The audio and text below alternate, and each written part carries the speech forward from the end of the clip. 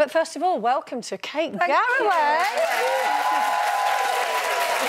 I didn't fall over on the way in. You didn't. My big worry. But we've got another another whole hour to go. Yeah, but we're, we're, very glad to see you because um, you had a little bit of an incident this morning on GMB. I did have a little bit. There's often incidents on GMB. Yeah, I was fed a sausage by Richard Arnold. Oh. Like you do. it is breakfast, why not? and I honestly couldn't breathe. I thought it was going to be one of those moments where everyone was laughing and I was going to be quietly dying on air. Oh. well, sorry to intrude on private grief, but let's have a clip. yeah. Oh, oh, oh, yeah. You took that in one then, Garraway. Are you all right? Come on. There you go, brilliant. Crikey, I literally nearly choked on a sausage on air there. That was it's almost just, one of those moments, It's a relief it? to the nation.